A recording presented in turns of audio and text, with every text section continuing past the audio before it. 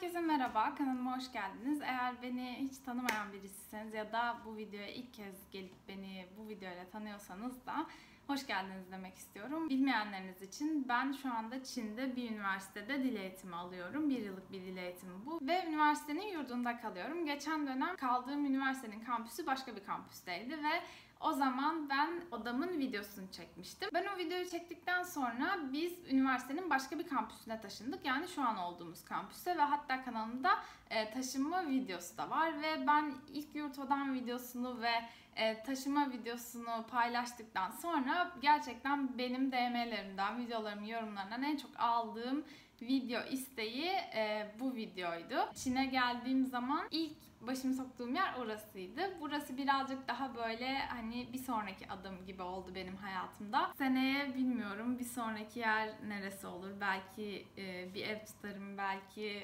bilemiyorum o kadar ilerisini düşünmedim.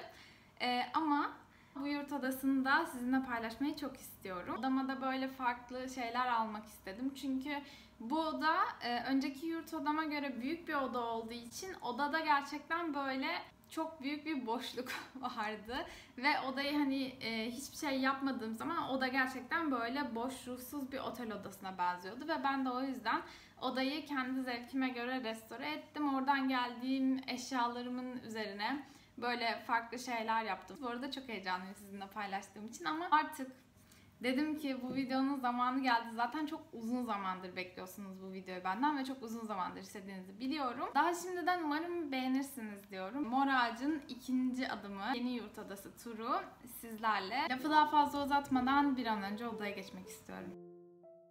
Ve işte şu şato gibi gözüken yer bizim yurdumuz.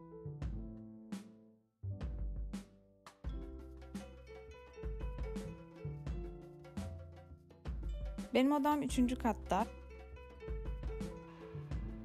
Odanın kapısını açtığımızda tıpkı bir önceki odamda olduğu gibi düzen aynı. Banyo sol tarafta. Banyoda yine çok gösterecek bir şey yok. Sol tarafa cilt bakım, saç bakım ürünlerimi koydum. Odanın tam girişine bu aldığım vestiyeri koydum. Çünkü zaten girişte yer vardı. Şu anda havalar artık ısındığı için mantolarımı kaldırdım. Daha çok böyle her gün giydiğim ceketlerimi koydum buraya.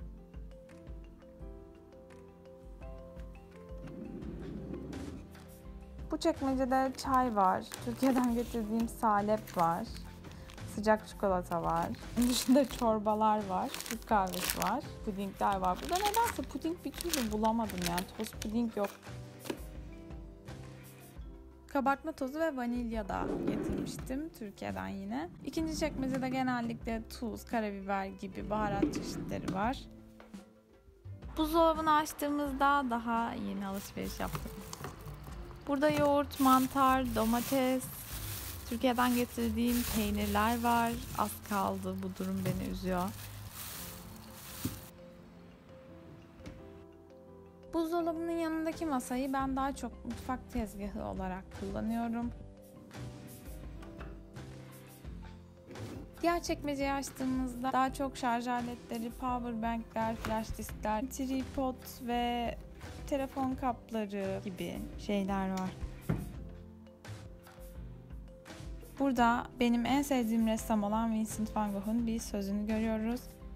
Bu masayı ise daha çok ders çalışmak için, videolarımı editlemek için, oturup kitap okumak için kullanıyorum. Onun dışında yemeklerimi diğer masada yiyorum. Bu yastığı ben Tabaa'dan aldım yine tabii ki. Ve gerçekten bu oda için aldığım en güzel şeylerden bir tanesi bu oldu bence.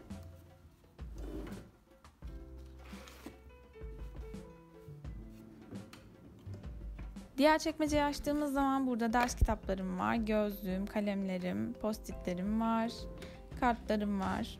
Bu mumu bu odaya geldiğim zaman aldım. 2019'un masa takvimini aldım. Masadaki en dikkat çekici şey de bu fanustaki mor çiçekler. Tabii ki bu mor ağaca bir gönderme. İçindeki gerçek çiçek ve aynı zamanda bunu telefonunuza bağlayarak müzik dinleyebiliyorsunuz. Hem hoparlör hem de gece lambası. Ve gerçekten bu odada benim imzamı taşıyan şeylerden bir tanesi oldu.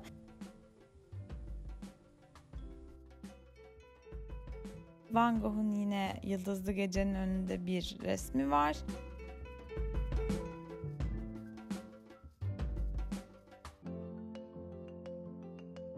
Yatağın başucunda bir tane daha cam fanus görüyoruz. Bu hava nemlendirici olarak geçiyor. Hem dekoratif hem de yararlı da olduğunu düşünüyorum.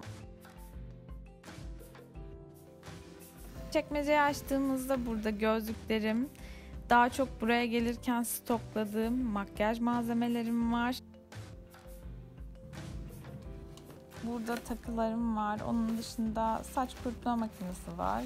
Diş fırçası almışım. o var. Onun dışında başka bir şey yok. Yatağımın başucuna tabii ki bir önceki odamdan hatırlayacağınız bu rüya yakalayıcısını astım. Ben iki kişilik odada tek kişi kaldığım için burada iki tane yatak vardı. Ama iki yatağı yan yana koyduğunuz zaman gerçekten çok fazla yer kaplıyordu. O yüzden ben yatağın bir tanesini açtım. Bu yatağın altında yatağın kirişleri var.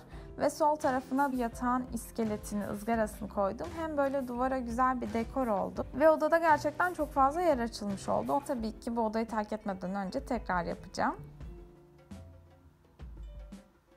Yine burada iki tane dolap yan yana. Sol taraftaki dolabı göstermeme çok gerek yok. Çünkü içinde genellikle kışlıklarım var. Birazcık daha böyle kiler ya da yüklük gibi kullandığım bir dolap. Sağ taraftaki dolabı açtığımız zaman burada yazlık kıyafetlerimi görüyoruz. Ki kışlıkları dolaptan çıkardığım zaman acayip derecede yer açıldı ve dolabım tamamen böyle parladı. Burada ıvır zıvırı koyduğum bir kutum var.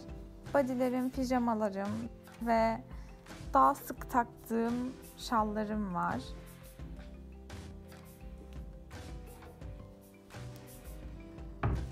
Bu tarz videoları izlemeyi çok seviyorum. Çünkü bence bir insanın evi, odası onunla ilgili bize çok fazla şey söylüyor. Ve o kişinin dünyasını tanımamızı sağlıyor.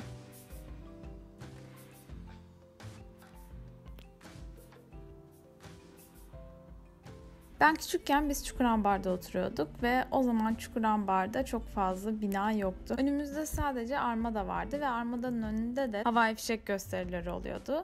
Biz de ablamlarla camın önüne geçip o havai fişekleri izliyorduk, oturuyorduk, sohbet ediyorduk. Sonra o evimizden başka bir yere taşındık.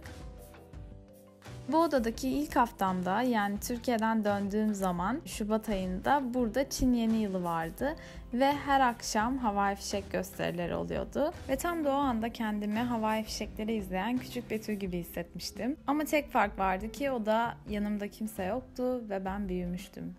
O yüzden bu oda daha burada kaldığım ilk haftadan beni bir sürprizle karşılayan, beni bir anlığına da olsa geçmişe götüren, gülümseten bir oda oldu.